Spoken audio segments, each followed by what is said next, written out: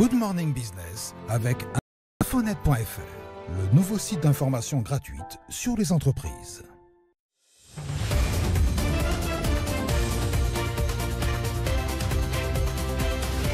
Jusqu'à 9h, Good Morning Business. Et notre invité, c'est euh, l'une des stars de la semaine, l'une des banques françaises qui a présenté ses résultats. Et c'est Laurent Mignon, le président directeur du groupe BPCE, groupe mutualiste. Alors, il y a beaucoup d'actualités, notamment le rachat de votre filiale Natixis. Mais euh, déjà, vos résultats. Alors, les banques françaises se sont très bien débrouillées pendant cette crise. Elles ont montré leur capacité de résilience. Bon, vous êtes un peu dans la moyenne. Vous avez divisé votre bénéfice par deux, alors que des concurrents ont plutôt quasiment maintenu euh, euh, leurs chiffres comme BNP Paribas. D'autres sont ont plongé dans le rouge, comme la Générale. J'ai envie de dire, euh, voilà, bilan moyen ou je suis sévère si je dis ça? Non, vous êtes un peu sévère, mais enfin, cela dit, euh, non, on a, moi, ce, ce sur quoi je voudrais d'abord revenir, c'est que les banques françaises euh, euh, et le groupe BPCE particulièrement ont été euh, très fortement aux côtés de leurs clients. Ouais. Euh, euh, et on a accompagné nos clients pendant cette période extrêmement difficile, à la fois en distribuant des PGE, des prêts garantis par l'État. Pour le groupe, c'est 31 milliards de PGE qui ont été distribués. Et puis en faisant des moratoires quasi automatiques pour beaucoup de nos clients. Cette année, pareil, cette cette année-là, enfin, on- on- ils ont encore un peu de délai, mais est-ce que combien de pourcentage de vos clients à PGE vont demander le, le moratoire d'un an supplémentaire? Oh, je- des premiers sondages qu'on fait, probablement la moitié. Ah, quand même. Probablement la moitié. Ouais. Oui, mais, mais les gens sont prudents parce qu'ils ne savent pas exactement combien de temps cette crise va durer. Bon, ils ont encore un peu de temps pour se décider, mais les premiers sondages qu'on fait, c'est à peu près la moitié. Mais euh, pourtant, euh, à peu près 60% de l'argent qu'on a distribué en PGE est encore sur les comptes des clients. Donc, euh, ils ont de la, la marge de manœuvre, c'est de la précaution. qui est très Mais- rassurant quand on, voilà, voit, mais- quand on voit des chefs d'entreprise qui nous disent bah, Moi j'ai fait un PGE parce que ça me rassure, Bah, bien sûr. j'y touche pas. Mais quelle, quelle réassurance d'avoir ça Mais- Mais bien sûr, mais c'est c'est ce qui leur permet aussi d'envisager l'avenir et de se dire ben, on va investir. Parce que ce qui est important, c'est avoir une économie, pas simplement qui s'en sorte, mais qui soit capable d'investir demain pour créer les conditions d'une croissance forte après la sortie du Covid. Et ça vous assure un fort taux de remboursement euh, cette année Écoutez, ou l'année prochaine? On pense que les- les entreprises vont pouvoir repartir. Il y aura des situations difficiles, on le sait. Il faudra accompagner ces clients-là. Vous l'évaluez à combien? Parce que votre collègue numéro 2 de la BNP Paribas qui était avec nous la semaine dernière nous disait que c'était 5% à peu près en moyenne, sans doute des clients qui seront en Oui. difficulté sur le PGE. Probablement, probablement entre 5-6%, c'est ça. Mais, mais surtout, ce qu'il faudra, c'est un accompagnement personnalisé pour cela. L'essentiel des entreprises euh, vont pouvoir réinvestir et c'est ça qui va être important, les accompagner. Donc voilà, c'est ça pour moi la, la première force de cette année, c'est d'avoir euh, euh, pu accompagner nos clients dans une économie euh, extrêmement difficile. Alors Laurent Mignon, vous êtes à côté de vos clients. Est-ce que, comme Emmanuel Le Chypre, vous sentez souffler à nouveau ce vent d'optimisme avec le fait qu'on n'ait pas été reconfiné, avec le fait que vous le disiez qu'il y a quand même de la trésorerie dans les entreprises grâce notamment au PGE Est-ce que de nouveau, comme en septembre-octobre, on avait senti sur ce plateau les entrepreneurs qui avaient envie de repartir et d'investir Est-ce que c'est le cas aujourd'hui avec le vaccin qui va quand même être généralisé? Bah, la vraie, le vrai changement fondamental, c'est le vaccin, parce que le vaccin, c'est la vraie sortie de crise.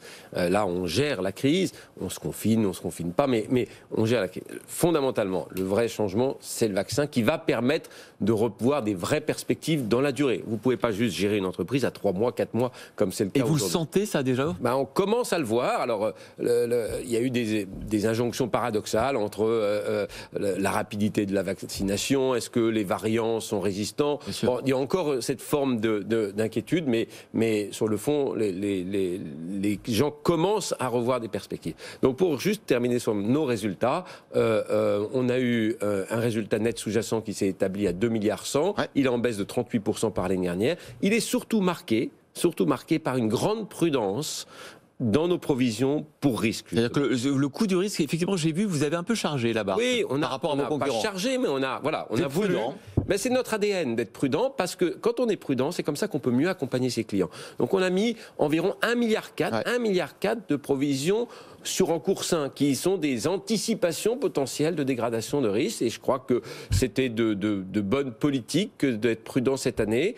Euh, euh, plus on est prudent cette année, mieux on sera aux côtés de nos clients l'année prochaine. Enfin, exactement, l'année dernière et donc cette année. Et puis on va parler de ce nouveau plan stratégique qui sera présenté euh, en, en juin prochain euh, avec ce- cet objectif de 2022 et cette, cette opération, cette OPA à 3,7 milliards sur les actions de Natixis en, en vue d'un d'un retrait de la cote. Expliquez-nous cette, cette opération. Écoutez, euh, fondamentalement, c'est un projet de simplification du groupe. Nous voulons simplifier euh, euh, notre groupe. On est dans une période où la complexité des réglementations, la baisse des taux, la concurrence qui est forte, fait qu'on doit trouver tous les moyens pour être plus efficace, plus dynamique. Pour ça, on veut simplifier le groupe. Pour le simplifier, on veut mettre les métiers qui sont proches de l'activité retail à côté d'eux. On l'avait fait avec les opérations de financement spécialisé de Natixis il y a, deux ans. On avait rapproché de BPCESA. On veut le faire maintenant avec les activités d'assurance et de paiement. On veut également créer un ensemble qu'on appellera Global Financial Services qui regroupe les métiers de la banque de grande clientèle, les métiers de la gestion d'actifs où euh, le groupe est un des leaders mondiaux avec plus de 1100 milliards d'actifs gérés.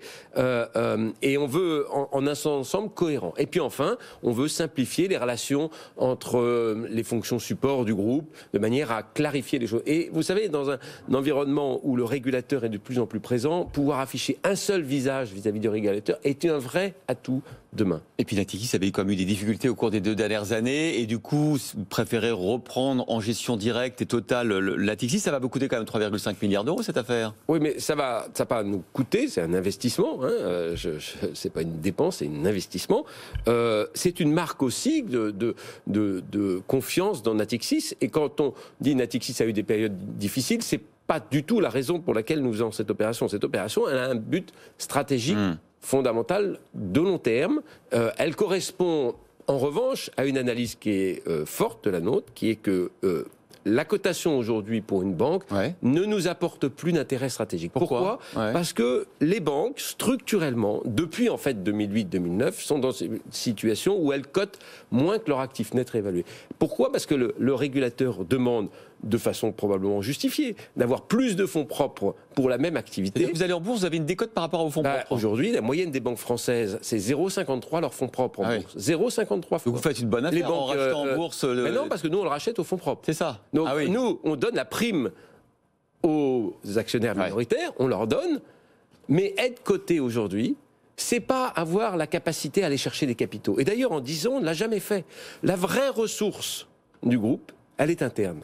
La vraie capacité à financer la croissance de nos métiers, elle est interne. Et donc d'augmenter vos parts de marché? Pardon? D'augmenter vos parts de marché Et d'augmenter notre part de marché. Notre, plan stratégique sera un plan de croissance, un hmm. plan de développement résolu. Et cette opération, vient en support de cette ambition qu'on affichera en juin. Adieu la bourse, vive les banques mutualistes, c'est ça? Ouais, écoutez, en tout cas, les banques mutualistes peuvent se permettre de ne pas être cotées. Nous souhaitons être le premier groupe bancaire européen non coté. Voilà, Laurent Mignon, président du directoire du groupe BPCE. Merci d'avoir été avec nous dans la matinale.